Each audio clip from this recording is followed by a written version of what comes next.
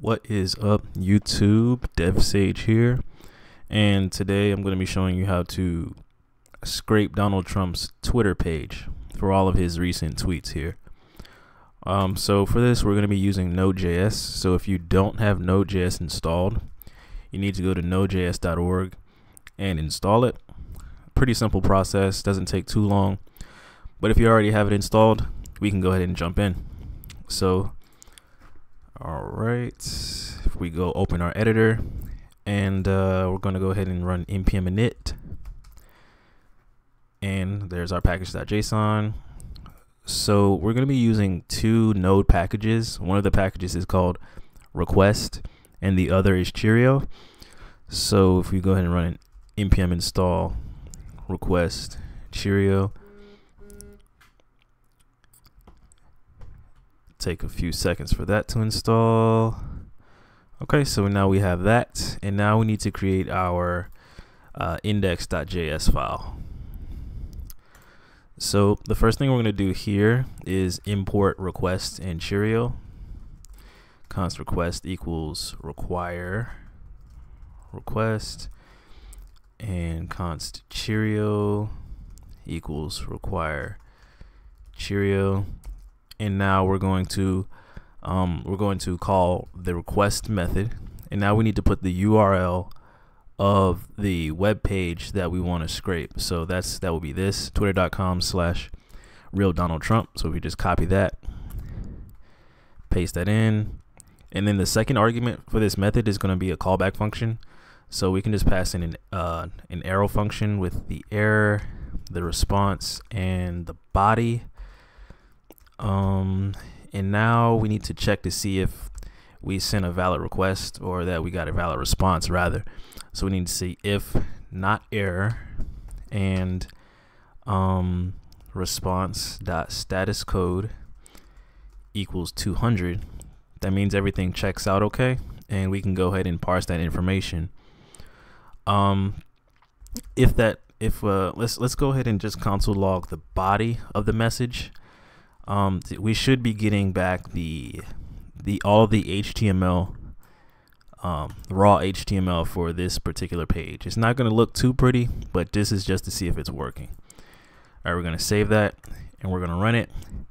Now, you could run it by using npm start, but I use a tool called NodeMon because it allows you to it uh it auto reloads whenever you make a change to your document. If you use npm start, every time you make a change, you would have to restart the server. So I'm going to use NodeMon. If you want to install NodeMon and check it out, you can say npm install globally uh, NodeMon, Node Monitor. That's what it stands for. But uh, you can use npm start if you want to. But I'm going to use NodeMon. So we're going to run it. And now you can see that we're printing all of the, looks like we got some HTML here. And this is all of the HTML uh, for Donald Trump's Twitter page here. So now we need to extract certain pieces of information out of it, uh, in particular these tweets. So if you know jQuery, this is going to kind of look familiar, this next part.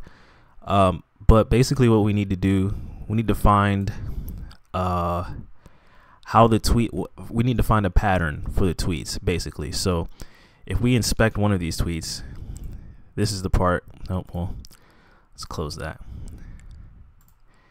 If we go here, we can see that the tweet is inside of a paragraph with the class of tweet text size.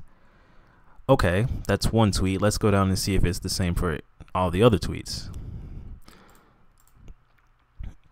Okay, and now we we can see that this tweet is also inside of a paragraph with the class of tweet text size. So we can probably use um, that selector to kind of grab the tweets out of all of that raw HTML. That's what Cheerio allows us to do.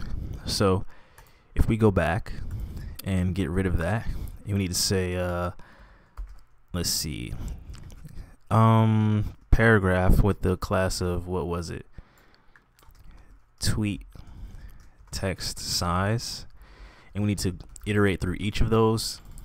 And we're gonna say um, let's I believe it's index and then item, and then we're gonna just get an arrow function in there, and then we're gonna log item just to see what this should return is a list of well it should return an object. This object represents all of those paragraphs that we just selected. So now. Let's let's add like a bar under each of them so we don't clump them all together. And error. Oh what we didn't do.